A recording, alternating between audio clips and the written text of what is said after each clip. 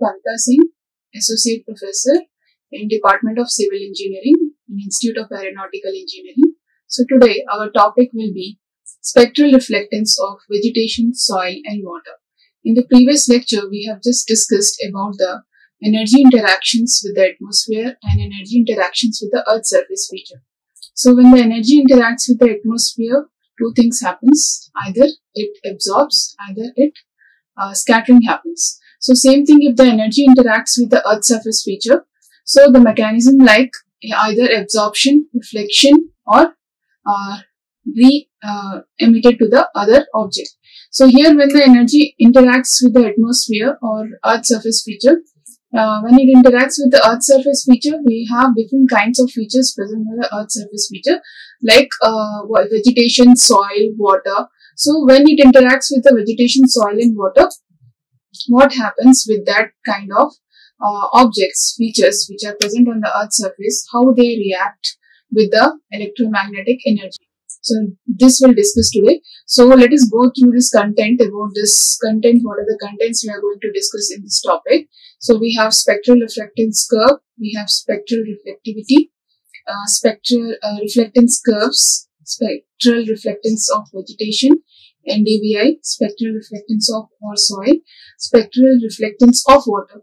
So these all we are going to discuss because these are all uh, surface features so when it falls, when the energy falls on the earth surface feature, how do they react with the kind of the objects which are present on the earth surface. So before we discuss about the uh, soil, water and vegetation, let us discuss about what is a spectral reflectance curve. So a spectral reflectance curve, it's like a curve means it's a, a graph of reflectance where we have here we have reflectance reflectance.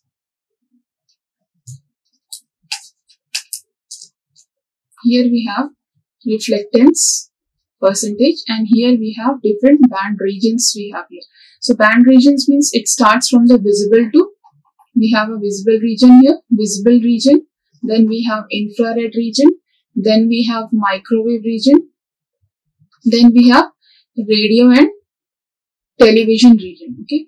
So we have these all regions where we are using these regions for the remote sensing purpose. Below this visible we have a short wavelength region. Short wavelength region where the remote sensing is not at all possible.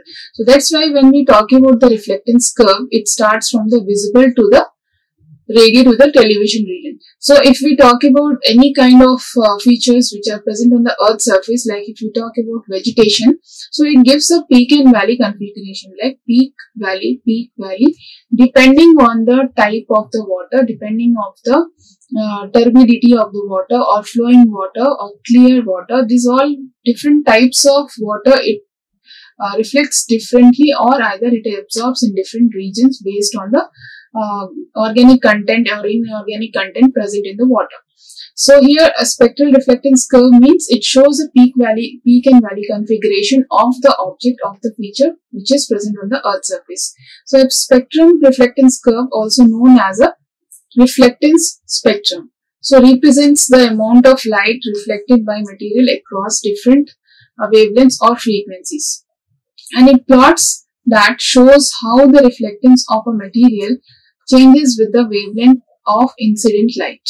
So uh, next thing we'll see about reflectance spectra are essential in various fields such as and it is very much uh, helpful in the various fields such as remote sensing, spectroscopy, material science. So these are the different fields where this uh, spectral reflectance curve is uh, essential or it is very important in these all regions and they provide valuable information about the optical properties of materials including their color, their composition and the surface characteristics of the object. Next, uh, when you talk about this uh, reflectivity, what is reflectivity, spectral reflectivity? So reflectivity is a fraction of incident radiation reflected by a surface. So it's a fraction of incident radiation which is reflected by the surface. The reflectance characteristics of Earth's surface feature may be quantified by measuring the portion of incident energy that is reflected. So this measured is a function of wavelength and is called as spectral reflectance. So reflectivity is basically about the fraction of the incident radiation reflected by the surface. So when the energy falls on the surface, how the it reflects back to the atmosphere and how it is captured, captured by the sensor. Now here we have a reflectance curve here typical spectral reflectance curve of vegetation, soil and water. So in the previous slide, in the first slide, we have just discussed about the reflectance curve. So reflectance curve is this is this is the kind of curve it gives when the energy falls on the earth surface. If suppose here is the sun when it falls on the earth's surface, it has to pass through the atmosphere and it has to pass through the electromagnetic spectrum. So where, which region it is uh, highly reflected, which region it is absorbed based on the presence of the water content, based on the presence of the organic content in the water, it matters, it depends. So now if we see dry bare soil, vegetation, water, we have three types of uh, features here. So if you talk about dry bare soil, dry bare soil if it is, so if we see here, this is the dry bare soil. Dry bare soil means it has a very uh, rough, uh, uh, it's like texture of uh, very rough texture because it is totally dry. So if it is a wet soil, the texture will be smooth. So dry bare soil, it has a uh, more, uh, I mean, it's not much, we don't have much peak and valley configuration. It's constantly, it is like um, increasing in the infrared region. This is the IR region and this is the radio region. So it is keep on increasing. It's not like going up and down. Whereas if you see about vegetation, so vegetation is having more peak and valley configuration like when you see the vegetation in this visible region 0.4 to 0.7, it is absorbing. So the valley is uh, totally down. It's like a valley. So when suddenly it is going up like a peak here, because in the uh, infrared region, because the presence of the chlorophyll and presence of the water content in the leaves, the highly reflectance it will be in the infrared region of the green band. That's why our uh, eyes can see the vegetation in green in color. And in the satellite image, when it is reflecting in the infrared region, so in the satellite image, the vegetation will be visible in red in color. So suddenly it is moving and again falling down in this uh, infrared region so this is microwave region again. So microwave region we have a peak and valley again and slowly it is falling down in the television region or my uh, radio region. Now uh, if you talk about water. So this water you can see it is totally absorbed. The energy is totally absorbed based on the presence of the uh, suspended solid or if the water is clear it may reflect. But if the water is having more organic matter it may absorb the energy. It will not reflect much. Now if we talk about this uh, typical spectral reflectance curve for vegetation this is only for the vegetation. So it is about uh, like uh, if we see 0.4 to 0.7 region this is the visible region in this region, you see chlorophyll absorption is more. So due to presence of chlorophyll, here the uh, valley is more like it is absorbing more and suddenly it is having a peak configuration due to spongy mesophyll. Spongy mesophyll, it is totally reflecting. Now, if we talk, if you go to this infrared region, or we call it a short wavelength region of the long uh, wavelength radiation, uh, we can see here due to presence of uh, moisture content in the vegetation, water absorption it will be there. Water absorption means in the leaves, the more water content will be present, then it will absorb in these regions.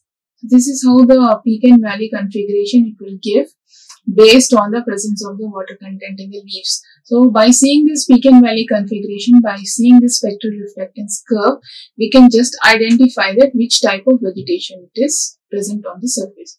Now we have spectral reflectance of vegetation. So in the range from about 0.7 to 1.3 nanometer, a plant leaf typically reflects. Why it reflects? Because 40 to 50 percent of the energy uh, of the energy incident upon it primarily due to the internal structure of plant leaves. Because the internal structure of the leaves are highly variable between plant species, reflectance measurements in this range often permit us to discriminate between uh, uh, species and even they look the same in the visible wavelengths. Like uh, this internal structure of the leaves are uh, highly variable because between the species reflectance measurements in the range and it often permits us to discriminate the between the species. So that's this is how we can just discriminate about the species based on the uh, structure of the leaves and uh, highly uh, water content. So many plant stresses alter the reflectance in this region and sensors operating in this range are often used for the vegetation uh, or stress de detection. Now uh, when you go check this image like it is about the different types of vegetation here. So what are the different types of vegetation we come across and we see on the earth surface feature? So uh, how it appears in the satellite image and how originally it, it appears on the ground. So when we uh, see here, we have uh, three types of vegetation here. We have corn, soya beans, rice. So this three vegetation, uh, when we see a satellite image, it appears like this. So corn appears in this dark red color and soybean appears little lighter red color and rice appears in darker maroon red color. Okay, so these three types of vegetation based on the type of the leaf and the structure of the leaf or water content in the leaf, the appearance in the image will differ. It will differentiate the uh, crop or differentiate the vegetation uh, in the satellite image. So these are taken on the different dates again. So we have Jan 1, Feb 3, March 7, March 14. So we have different dates here. So in Jan 1, it looks like this. Jan Feb 3, it looks like this. In March 7. So when you see March 7 means uh, gradually it is like uh, ripening up. So after ripening up, what is the condition of the field? And when we see the satellite image based on the reflectance curve and based on the uh, spectral property of the object, we can see this color in the satellite image. Like if you talk about uh, corn, so it looks in light green color, right? Uh, then if you talk about this um, soybean, looks like a white color because it is totally ripened now. Uh, now if you see this rice, it is totally red in color. Later when you go to uh, more March 14 after more 7 days, we see here the corn situation is totally white in color means totally it is uh, now it is uh, ready to harvest totally the water content is moisture content is dried up and it is uh, very dry in the uh, fields that's why it appears white in color. Now here it is on the harvesting stage again soybean. That's why it is appearing brown in color. Now rice will, because it has more water content present in that, that's the reason it appears red in color here. So these three different types of crop and differently it appears in the satellite image. This way we can differentiate the types of the crop, crop estimation, even yield estimation we can do based on this uh, reflectance curves. So reflectance of vegetation again beyond 1.3 uh, nanometer Energy incident upon vegetation is essentially absorbed or reflected with little to no transmittance of the energy. Now dips in the reflectance occur at 1.4 and 1.9 and 2.7 nanometer because water in the leaf absorbs strongly at these wavelengths.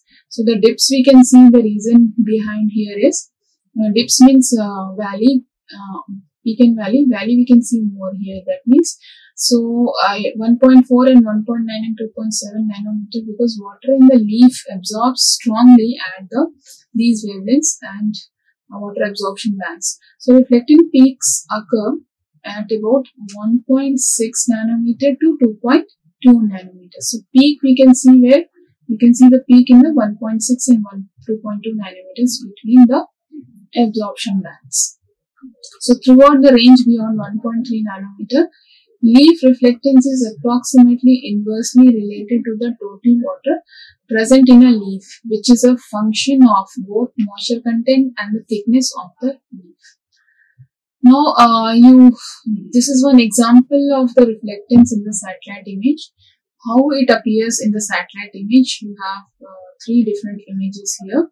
So in this image, this is how it looks like uh, when you see here, we have a, a, red color means high vegetation, yellow color means low vegetation. So uh, when you see these are three different years it has a three different years. Uh, because it, how we can identify is in for picture number one you can see very less vegetation is present picture number two somewhat more picture number three we have more vegetation present over here. So uh, different years it is taken. Now uh, this these are all true colors how exactly our eyes can see uh, actually on the ground. But when you talk about satellite image when you see the image satellite image the vegetation appearance in the satellite image will be red in color. So wherever you see this red in color, it is all vegetation because the highest peak uh, configuration what we can see in the infrared region. That's the reason. That's the reason the vegetation will appear red in color in the satellite image. So these are all satellite image colors and these are true color images. Now yellow color here is low vegetation. So wherever you, you find this low uh, yellow color, it is all, this all are having less vegetation. When you compare to these images, we can just identify few of the areas are covered with less vegetation. That's the reason it is showing in the yellow color. So this is how we can just compare the year-wise images based on the satellite image. Now NDVI uh, vegetation is very much helpful in the NDVI. NDVI, what is NDVI? NDVI stands for the Normalized Difference Vegetation Index. So it's a numerical indicator that uses satellite imagery to assess the health and density of the vegetation and it can just find out the health of the vegetation and density like even yield estimation we can just find out with the help of the NDVI in a particular area. So NDVI is calculated using reflectance of visible and near infrared light, uh, light and the formula for the NDVI is NDVI is equal to NIR minus red, NIR plus red, NDVI is equal to NIR plus red or NIR minus red. So this is the formula we use for the NDVI for the health and density of the vegetation in the satellite image. Through satellite image itself, uh, with the help of NDVI, we can just find out the health of the vegetation present on that particular ground. So where NIR is the near infrared reflectance, where red is the red reflectance, the value of NDVI typically range from minus 1 to 1, where higher values indicate denser and heavier vegetation. Hence, uh, here's what the values gradually mean. Uh, now we have uh, values close to 1, dense vegetation. So if it is close to 1, it is dense vegetation and if it is around 0 we have little to no vegetation. Values below 0 usually water bodies or other non-vegetated surfaces. So NDVI is widely used in agriculture, forestry, environmental monitoring and other fields to assess vegetation health, monitor changes in land cover and study climate change impacts in the ecosystem. So this is very much helpful in the monitoring of the um, environmental issues and even in agriculture, in the forestry, the land use land cover changes, we can just use NDVI for these purposes. Now here we have NDVI infrared satellite images. So this is an infrared satellite image. This is an infrared satellite image where it shows you the high photosynthesis areas and low photosynthesis area. So high photosynthesis area, we can just see this purple color and this dark blue color. It has a high photosynthesis area whereas in the uh, rest of the areas where you can see uh, low photosynthesis area that red all color is, uh, is like low photosynthesis area. So through the help of the infra infrared uh, satellite images, we can just find out about the health of the vegetation and photosynthesis process, where it is happening more and where it is happening low. So based on that, the further steps can be taken for the improvement of the vegetation. Now coming to the soil, spectral reflectance of uh, soil. Uh, the factors that influence soil reflectance act over less specified spectral bands. Uh, factors affecting soil reflectance are moisture content. It has a moisture content. How the soil is uh, affecting, how the soil reflectance is affecting. So that is all based on the moisture content, soil texture. So what is moisture content? So when a soil is a wet soil, when it has a more water content present in the uh, soil, that means it is having more moisture present in the soil. That's how it is having more moisture content. So when it is having more moisture content, the absorbance will be more. The reflectance will be less of the radiation.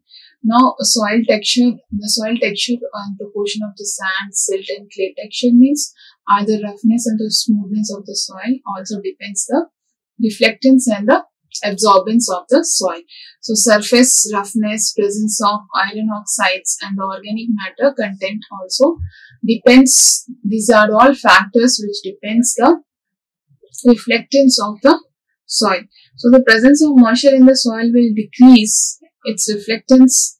This effect is greatest in the water absorption bands and about 1.4 to 1.9, 2.2 to 2.7 nanometers. The water absorption bands we can just, uh, it has a greatest effect in these regions. So soil moisture content is strongly related to the soil texture. So soil moisture content is related to the soil texture. How we can just make this statement true?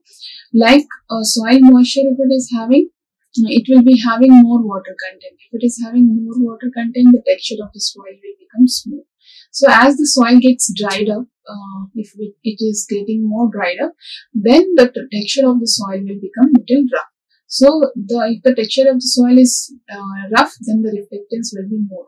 So if the texture of the soil is smooth, the reflectance will be less. The, the energy absorption will be more in this region. Now we have spectral reflectance curves here. Uh, differently we are showing with the examples like we have again clear lake water, turbid river water, wet soil, dry soil, vegetation. So we have uh, different types of features here again. So if you see about this clear water, clear water is this is falling down, the valley is falling down, means it has uh, absorption in the infrared region, whereas in the visible region, little bit it is having more. Uh, and when you so see about the turbid water, the absorption is again more in the infrared. Now, if you see the vegetation, it is highly reflecting in the infrared region and drastically it is falling down in the microwave region again going up again going down. So it is very much up and down uh, based on the presence of the water content moisture content. Now if you see the dry soil dry soil means totally it is reflecting in a constant manner so because it is not having any kind of moisture present in that so it just gives reflectance there is no absorbance present in so variation in the spectral reflectance, we have a different variation here. Sandy loamy, fine sandy loamy and very fine loamy soil. Different uh, curves we can see here. So it is not uh, having uh, much more difference between each other. Mostly it is having same types of reflectance, all the three soils. Now coming to the spectral reflectance of the water. Uh, so water is like uh, it's like uh, not moving water or clear water or turbid water. So these all types of water, it has different reflectance, absorbance present of uh, content like organic content present in that matter. So it all depends on the type of the water, the reflectance will be there. So water in soil, vegetation or water bodies absorbs radiations at the near infrared wavelength and beyond strong absorption bands at about at about 1.4, 1.9 and 2.7 nanometer. So reflectance from a water body can stem from, from an interaction with the water surface, specular reflection and with material suspended in the water and with the bottom of the water body. So clear water absorbs, uh, when you talk about a water, clear water absorbs relatively little energy. So wherever you find the clear water, the absorption of the energy will be less, the reflection will be more. So uh, less little energy with wavelengths of 0 less than 0.6 nanometer, uh, resulting in high transmittance in the blue-green portion of the spectrum. As, a as the turbidity of the water changes, the reflectance reflectance changes dramatically. So turbid water, uh, if it is there means the reflectance will be changed again the more absorption will be more over here and the reflectance changes dramatically. Uh, now increasing in chlorophyll concentration tend to decrease reflectance in blue wavelengths and increase it in green wavelengths can monitor the algae. So if you want to monitor the algae, we can just go with this chlorophyll concentration and decrease of reflectance in the blue wavelengths means increase of green wavelengths uh, which can monitor the algae. Now we have, we have here variation in the spectral reflectance of water. Uh, so total solids, if it is present, if 200 mg per liter, so the reflectance here you can see in the infrared region is more, but absorbance is more in the uh, microwave region and visible region. So uh, this is like 100 mg per liter. If it is 100 mg per liter, then it is more absorbing. If 50 mg per liter, again it is absorbing. 25 mg per liter, again it is absorbing. Now uh, we have uh, uh, spectral reflectance of turbid water. Turbid water means, what is a turbid water? Turbid water, the water which is having more organic content present in that and which looks totally muddy, totally muddy, totally turbid. There is no clearance of water. We cannot see through it. So that kind of water is called as turbid water. So if you see the turbid water, it is having more uh, organic matter present here. So it is totally absorbing in all the region, regions. It's not at all reflecting because it has a very much organic content present which absorbs the energy. It is not like reflecting the energy. So if you see the clear water, it is somewhat reflecting in this region. Bare soil means totally reflectance will be there. Okay. Uh, now, spectral reflectance of turbid water can vary significantly depending on the several factors such as the concentration and composition of suspended particles, dissolved organic matter and phytoplankton. So, spectral reflectance refers to the proportion of light reflected by a surface at different wavelengths and within the electromagnetic spectrum. And in turbid water, suspended particles scatter and absorb light, influencing the water reflectance characteristics. So what happens, spectral reflectance of turbid water can vary significantly and that depends on different factors like uh, concentration of and composition of the suspended particles or dissolved organic matters or some phytoplankton. Phytoplankton means we, uh, we have this different kinds of uh, plants which are grown on the surface of the water. This also depends the reflectance of the water body. So when the plants are grown on the surface of the water, so what happens basically, uh, the reflectance of the water will won't be there. It shows as a vegetation in the satellite image and uh, it shows totally red in color. So reflectance will be differently how the vegetation reflects. Same the way the uh, water will be reflected wherever the phytoplanktons are present because presence of phytoplanktons it has a greenery over the surface of the water. So based on the greenery the reflectance will uh, change.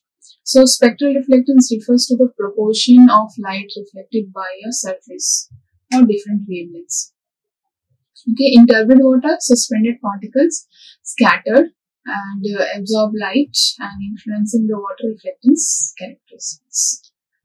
Now, uh, typically turbid water exhibits high reflectance. It exhibits the high reflectance in the visible wavelength due to scattering of light by suspended particles. However, the exact spectral signature can be quite complex and many more, uh, many vary depending on the factors such as particle size, distribution, concentration, water chemistry. So spectral signature can be vary depending on the factors of the particle size distribution of uh, present in the water body or concentration of uh, different types of organic matter.